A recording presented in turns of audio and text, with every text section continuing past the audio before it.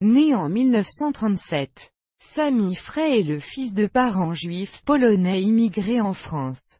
Ceux-ci meurent en déportation dans un camp nazi durant la Seconde Guerre mondiale. D'après Brigitte Bardot, à qui il en fait la confidence, il ne doit sa survie qu'au fait que ceux-ci l'ont caché dans un panier à linge de la maison avant d'être emmené. En réalité, il doit sa survie à sa grand-mère Jaya Wolf qui l'a protégé lors de l'arrestation de sa mère. Elle-même sera déportée. Samy quitte Paris avec son grand-père CHR Aitrema aimé.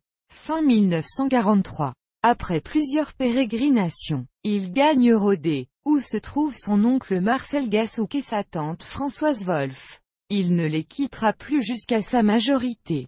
Élève de René Simon, il obtient dès 1961 un rôle clé dans La Vérité, film très attendu d'Henri-Georges Clouzot, avec Brigitte Bardot comme partenaire. À la suite de ce film, il quitte sa compagne Pascal Audrey, sœur de Hugo Frey, pour vivre un amour passionné avec sa partenaire mariée à l'époque avec Jacques Charrier. En 1966 à 1968, il participe à de nombreux spectacles mis en scène au théâtre Antoine par Claude Régis, et contribue à la révélation en France du théâtre anglais contemporain. Harold Pinté en tête. Au cinéma, il est choisi par des auteurs tels que Franju, Thérèse Desqueroux, en 1962. Michel Deville, L'appartement des filles, 1963. Godard, Banda à part, 1964. Paulet, Une balle au cœur, 1965.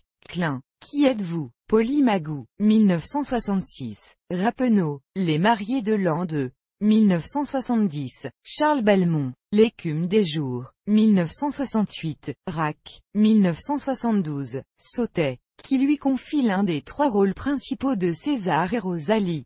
1972, aux côtés d'Yves Montand et Romy Schneider.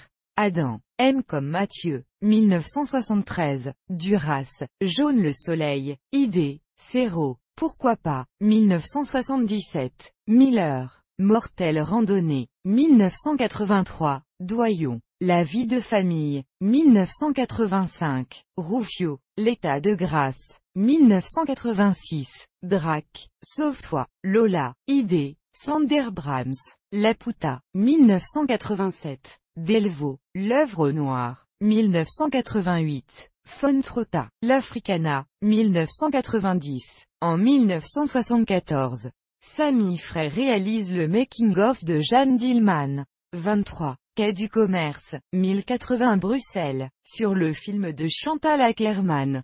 France-Belgique. 60 minutes, en noir et blanc. Il a été le compagnon de la comédienne Delphine Seyrig.